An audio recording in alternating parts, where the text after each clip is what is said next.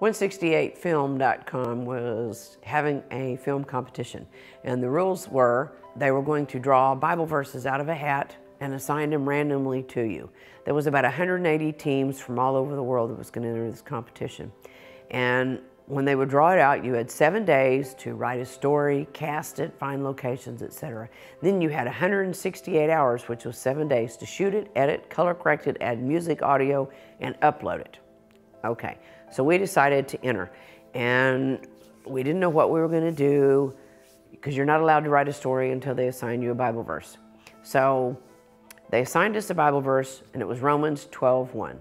So I, I called my buddy that was going to help me write the story, and I said, okay, you go work on ideas. I'll work on ideas two hours. Let's get back together.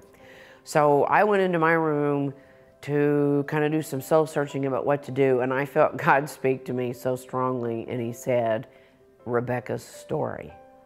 And I thought, wow. I mean, I began to cry because I knew he was speaking to me. I called my friend I said, don't bother coming up with ideas. We got to do Rebecca's story. So I called Rebecca's parents, David and Linda Tauber, um, the next day and, and told them I'd like to do her story for this competition. I said, do you mind if I come over tomorrow and go through her things? What I wanted to find was her Bible. I wanted to see if there was a way I could take her Bible and highlight Romans 12.1 without really messing up her Bible as she left it.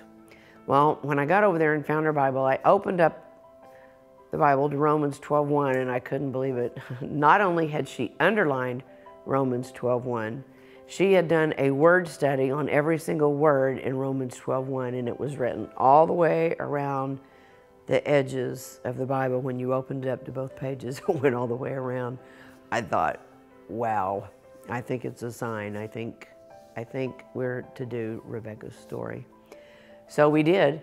Had a great time doing it. We, uh, we received two nominations, one for the actress. The girl was Elizabeth Jackson, who played the um, who played Rebecca. She was nominated, and, and Rona Lamont was nominated for uh, hair and makeup wardrobe.